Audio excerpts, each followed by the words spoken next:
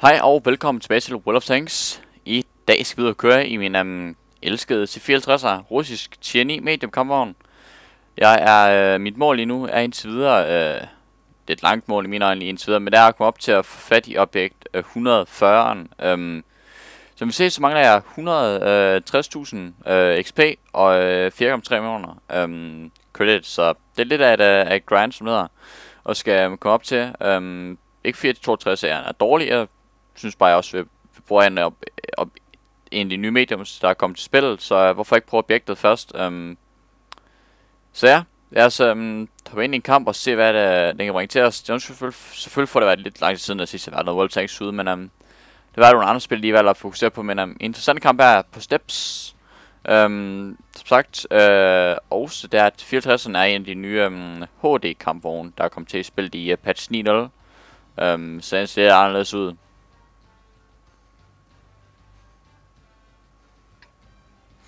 Men øhm, lad os se, hvad kommer kamera kan til os. Øhm, jeg ved, at der har været en del problemer med World of Tanks her for tiden. Øhm, der er mange folk, der har haft... Øhm, undskyld. Der er folk, der har haft problemer med, at, at FPS'ene øh, dropper ret hurtigt spil og sådan noget. Øhm, og jeg mener, de arbejder på at få en, endnu en hotfix ud til spillet. Det har været den tredje eller fjerde, de arbejder på at få ud til spillet nu. Øhm, hvilket selvfølgelig ikke er super godt for, for spillets, øh, hvad skal kalde det for, ry lige nu, øhm, om, øh, omdømme, øh, når der er, de bliver ved med at, at møde fejl, øhm, og ikke rigtig kan, wow, okay, øhm, og ikke rigtig kan, øhm, kan, kan få dem lavet, sådan at der er nogle problemer, der er, at man, hvis jeg for eksempel sigter her, så skyder kanonen måske herover, hvor jeg kigger lige nu, og sådan noget, øhm, og, og og det er noget øh, synkroniseringsproblem, som er, og det, det er selvfølgelig ikke alle spillere, der er ligeglade, eller det, det, det, det er selvfølgelig ikke noget, spillerne kan leve med overhovedet, øhm, og det er selvfølgelig en kritisk for af spillet, der er, at man kan misse skud eller to, måske ikke koste ens liv faktisk i spillet. Hold det fast, der på en øhm, um, omsætte på one popper der, um, lidt tæt. Det var lige, det var et, um, et fokuseret skud af andre folk til sammen også. Øhm, lad os se, og kommer lidt for langt frem her, og det bounce af den her. Og så der er det første skud engang med Kalak, som vi også så her. Um, jeg havde problemer med at lige hakke lidt i det. Um, lad os se, jeg kan sikkert ikke få ordentligt skud ind her. Jeg har med, at jeg får lag, når jeg går ind i, uh, ind i zoom mode. Det er også noget af det, som uh, der er nogle folk, der også oplever og sådan noget. Um, det er selvfølgelig super trist, at um, der er lige fejl efter en ny update, men um, som sagt, øh, for at ikke ved det ud, der er, at de uh, World Tanks skal over og bruge den nyere uh, engine. Uh, af Big World Engine, som de bruger til spillet endnu. Um, øhm, og til synlæderne, så må den jo have, have lavet nogle problemer uh, i spillet, som, um, som der simpelthen har forårsaget alle de her uh, fejl, som vi, vi får lige nu som spiller. Okay, den kunne vi ikke lov til at spotte der, men den godt kunne skyde på os. Øv. Så vi har en waffe 3 kun dernede lige nu. Okay, vi skal passe på, men vi har det der uh, britiske artilleri, det kan... Um, det kan godt skyde pænt højt, hvis det skal gøre, øh, og det får lyst til. Spørgsmålet er, om vi kan komme frem af nu.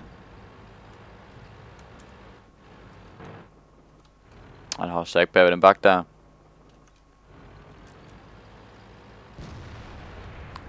Det er et risikabelt øh, angreb, jeg tager nu, men øh, lad os prøve at se, om vi ikke kan komme op på øh, Conqueror'en her. Det kunne i hvert fald godt først skud ind her til gengæld får lidt problemer nu. Fedt, ingen skud ind på øh, uh, turret der også. Det gælder bare, hvis vi trækker os her, vi har det problem, vi har kun til 71 til at forsvare, så så har vi nogle, en heavy her om bagved, vi skal have kaldt frem over til. Åh, oh, der kommer et artilleriskud også. Og et uh, lavet til Conqueror, den uh, også fik uh, lagt et skud ind på os. Spørgsmålet er, at jeg skal prøve at flygte, det gør jeg sgu. Vi bruger simpelthen ikke overleve på det her. Det er ikke at se, at vi gør det, om ikke andet. Jeg ved i hvert fald, det var jeg meget ikke frem derovre, ikke? Nu er ikke uh, mods på efter 9-0, der er nogle af dem, der ikke rigtig fungerer sådan noget, så er der nogle af dem, der stadig fungerer sådan noget. Jeg ved, øh, for jeg rigtig godt eksempel, en af dem spiller sammen med mig, uh, rigtig meget uh, Vejskar, som, i flere, som i, for mest de fleste nok ved, hvem der er derude. Um, hvis ikke, så kunne tilbage og se nogle af de uh, platoons, vi har kørt, og andre videoer, vi, vi har lavet sammen. Um, han bruger stadig et uh, StarCraft uh, voice mod, som er tilbage fra uh, update 7.5, uh, mener jeg, eller 7, uh, 7.0 eller sådan noget helt vildt, uh, hvor gammel den er. Og den fungerer stadig til spillet, og så er der måske en nyere mod, som slet ikke fungerer til spillet overhovedet. Um, så ja, Se vi MX'erne kommer op her. Lige op og pick med turret, der kunne vi se. Jeg ser en lejer lidt her lige nu, må jeg sige. Vi er lige i gang, så kan vi ikke se antennerne stikke op over bakken her. Se, han kommer op. Der. Der Rigtig godt skud her. Lidt tvivl omkring, om det der det var vores, der skød der, eller om det var øh, deres MX'er, der skød øh, 120'erne op. Det er spørgsmålet, eller ej. Åh, oh, lag igen. Nej. Fair nok. Så må man tage det. Øhm, jeg ser, kan vi ikke komme op forbi her igen? Der kom lige et skud, der kunne jeg høre. Også en anden ting, de gjorde i uh, den seneste optæng, er, at de er inde på uh, lydene i spillet. Um, hvordan de for eksempel lyder, hvis for eksempel kommer et uh, artilleriskud af den anden side af, så giver det et betydeligt større brag, um, hvilket det jo selvfølgelig også i, i realiteten burde gøre, når der er, det er jo... Normalt så er det jo... Det skud gik ikke så godt hen. Um, for normalt er det jo kæmpe store øh, granater, der flyver hen imod en, um, når der er, de øh, ryger omkring ørerne på en. Um, så jeg, jeg er jo vi bliver godt nok øh, trykket hårdt tilbage nu. Eller gør vi? Det er spørgsmålet. Kommer vi, skal vi hjælpe os Conqueror. Nu skal vi øh, i frem og... Hvis han tog det skud der, så skal vi frem, og så skal vi øh, have præget øh, skud eller to ind i øh, Conqueror'en her. Og så skal jeg se at skud, så den er en ud i hvert fald. Vi op på siden af færden, den er også ude der. Fantastisk. Så skal jeg og rykke frem imod øh, MX'eren lige nu. Um, og sørge for, at Conqueror ligger mærke til ham bagved. Vi havde også en AC-15 deroppe, men han har kørt væk, kan jeg se, så ham skal vi ikke tænke på.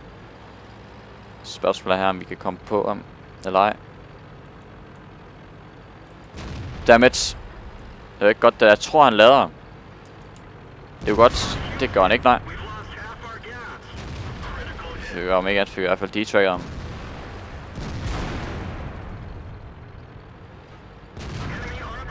Men det er i hvert fald et enkelt skud ind i ham, indtil videre så far. Og så...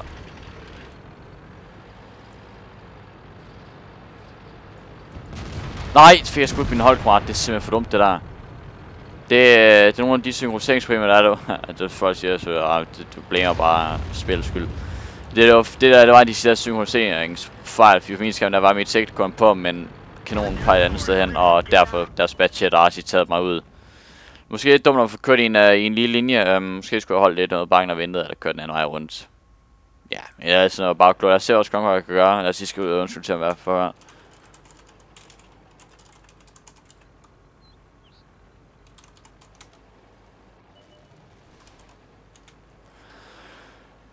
Um, jeg se, hvad han kan formå at gøre her. For det der skud har ramt øh, toppen der. Ikke vildt godt. Kom så. Hvad kan jeg også se for en fjerde at gøre her?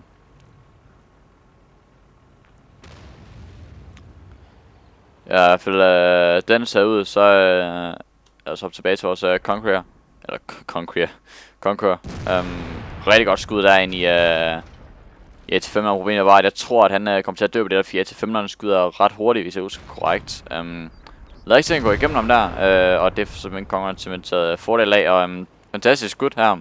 Det skal han have. Øhm, um, Conqueror er en øh, særdeles øh, udmærket kampvogn. Um, jeg er ikke så glad for, fordi den ikke har vildt godt panser og sådan noget, men dens kanon er uhyggelig præcis. Øh, og har en faktisk en rimelig okay rate of fire, altså hvor hurtigt den skyder øh, mellem hver skud, øh, og samt penetration og skader også. Det er en um, rigtig god kampvogn, hvis man sådan um, ser derude, der har en, en T110 E5'er, e så kan man uh, meget sammenligne um, i hvert fald top tier, altså FV, e, den er 215.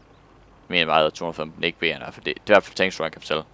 Uh, I hvert fald ikke så, øh, om ikke er top tieren for øh, uh, britterne. Uh, deres um, heavy, den kan man sammenligne til et, uh, til et vist punkt uh, med 1010 F5'eren fra USA, deres uh, top tier heavy også. Um, det, de, de er meget ens. Det er en kampvogn, som kan bruges til at køre i en sekundær bølge i et angreb, hvis ligesom man for eksempel, nu siger jeg sådan Clan War, uh, klankampmæssigt, Clan Wars, som det hedder, uh, mæssigt, at man kan bruge den som et, en sekundær uh, fremstød, eller en form for de, uh, defensiv, øh, højt linje øh, kamper, hvis siger hvor der er, at man øh, formår at sætte øh, en kammer op, så, så den står cirka måske lidt uden for, hvad en normal defensiv linje måske vil være i, øh, i spillet. Øh, hvis man sådan ligesom også måske ikke sætte lidt øh, hvad er det nu, øh, en lidt form for aggressiv linje, måske, så, vil nogen der måske vil mene. Um, jeg ser, at F75 ikke får et kål på uh, badchatten der leg.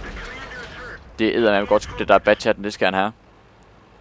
Den er, den sad virkelig godt. Problemet er, at badchat, badchat er sindssygt hurtigt. Øhm, og så pludselig også har et drejbar øh, tårn. Spørgsmål er om, øh, hvad havde han laver her med ham. Ah, den spørgsmål er... Åh, det er virkelig godt ramt det der artilleri der. Fantastisk. Det skal det er jo godt lavet til, det går ind og bliver um, en sejr, det her. Øh, lad os se, vi har vores Conqueror at gøre lige nu. Han er ligger nede der space, så øhm, um, Kurens spørgsmål er, om jeg... Ja, Archie var der. Så vi ikke lige kan se det. Det kan vi som i 70 sted, for vi er det britiske Archie. FV 207. Efter, efter jeg i hvert fald kan se, hvad det er. Øhm, jeg er ikke, jeg er ikke stor artilleri øh, specialist, så jeg skal, jeg skal ikke kunne svare på, om øhm, det er et øh, udmærket artilleri eller ej. Øhm, det er ikke rigtig den øh, genre, jeg har valgt at begive mig for, men øhm, vi vinder kampen. Øh, næsten, hvis vi have fundet øh, til 95 undermor, vi ikke har set det nu, men um, vi skulle gerne vinde en kamp her, men. Der er, chancen er ret stor for det. Um, spørgsmålet er, hvor den er. Um, om de går for cap eller ej. Det kan jeg godt vide. Lad os se, hvad de gør. De går ikke efter, de går efter at prøve at finde den. Spørgsmålet er bare, hvor den er. Jeg kan godt forestille mig dernede i, um, i midten her. Øhm, um, for jeg kan sige, det kunne være en um, godt bud på det faktisk. Uh, da vi ikke rigtig, vi har ikke set ham herover. Uh, øh, den hvide prik her, det hvor jeg er død. Um, ved noget, men vi har ikke set ham over i den linje her overhovedet. Um, går jeg i hvert fald ikke ud fra, at vi har selvfølgelig ikke været helt op bagved. Ikke har vi, det kan jeg ikke huske, om øh, den, her, den har været. Øh, gong, gong. Um, så spørgsmålet er, om han ikke ligger nede i det der, nede i det hul hernede. Og, um, hul. Um, hvad skal man sige, øh, form for, det er vel en, en rande, så vi skal vi kalde for en, en, en lav vej, hvis vi skal kalde for det. Um, spørgsmålet er, om han, um, om han kører hernede eller ej.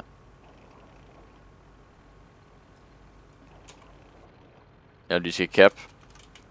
Det er et spørgsmål, om vi prøver at skrive i kommentarfeltet og se om de... Eller i chatten indgame om, at de måske vil cap eller ej. Ja. I hvert fald, vores artilleri mener det Fiat uh, igen, hvis der er at uh, 95 som stadig har masser af liv, um, så jeg vil godt tabe den kamp her. Uh, men hvis F-75 som bare vælger at køre ind i kappen, og så bare holde derinde stille og roligt um, og lære Conquer køre rundt, så, uh, så burde der være en, uh, en chance for, at um, vi kan vinde en kamp her. Altså, om ikke andet, vi i hvert fald kunne ind i capzone nu, så... Um,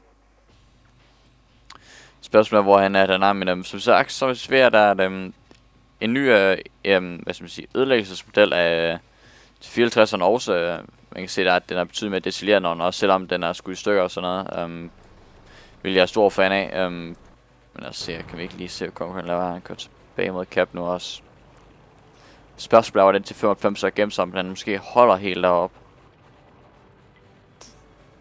I K0. Det spørgsmål, jeg kunne godt forestille mig, at han gør det. Det er ikke Jeg ved selvfølgelig ikke, om vi har været deroppe kig, men jeg kunne godt... Jeg har, jeg har på fornemmelsen der at han, han holder tæt på os. Eller tæt på dem. Øhm, bare ikke særlig godt, når der er et uh, F-75, som vælger ud cap igen. Øhm, Bliver han beskudt, eller hvad sker der?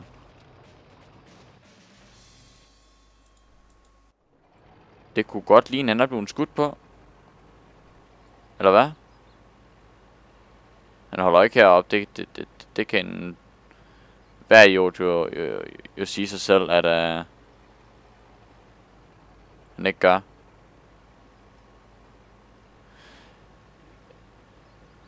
Jeg forstår ikke, hvad der sker her. Er han blevet skudt, eller hvad er han? Det jeg forstår ikke, hvorfor vi ikke, de ikke de kapper. Øhm, lader til gang, vi kommer til at tabe det kamp, så hvis de ikke finder ham. Øhm, nej, det var han sgu. Når man snakker om, så er han der samme. spørgsmålet også bare, om vi sådan set kunne have vundet kampen nu, ved at kappe dem ud, men øhm, ja. Lad os se, og oh, der er død konkurrent i hvert fald, så øh, det sætter i hvert fald chancen ned for at, øh, at vinde kampen betydeligt. Øh, det er den underlige kamp der, må jeg sige. Øh, jeg forstår ikke rigtig, hvorfor han ikke bare kappede i 75'eren, og så um, tog det head-on skud på ham. Uh, ja, jeg skal i hvert fald ikke miste skudderne. Wow. Det kunne godt ligne. Ah, ah, der er et minut tilbage. Den er, tror jeg ikke på, den er. Hvis han bouncer det skud, så tror jeg, han skal lade artilleriet tage imod. Um, øhm, jeg ved, hvad laver han? Jo, den er for, nu, ja, nu har han døddømt sig selv. Wow. Det er jo... Service det er der ufatteligt dårligt kører, den spiller her. Og øhm, nu er det hele sådan set op til os. Øh, artilleri, 30 sekunder tilbage. Ja. Yeah. Det er jo en uafgjort. Det, øh, Wow. Ufatteligt, må jeg sige. Øhm, det der hold går fra, at vi kan vinde kampen. Stor chance for det. Og til der vi taber den nu. Eller taber taber. I nu har gjort det selvfølgelig også øh, respektabelt, okay. Øhm, men fra at vi kan vinde kampen stort-agtigt, og vi så kan, vi så taber den sådan, at det synes jeg sgu ikke, den er, den er okay. Øhm, fik jeg selvfølgelig også til at skade os øh, holdkammerat. Øh, det er selvfølgelig en, en kæmpe fejl, at um, jeg fik uh, sat skud en side på med 349. Det er selvfølgelig slet ikke meningen. Um, så ja, men jeg håber, I uh, kunne lide den episode her med Web Thanks. Um, øhm, jeg er selvfølgelig nok prøve at få noget mere på det. Um, men om ikke andet, vi ses snart igen.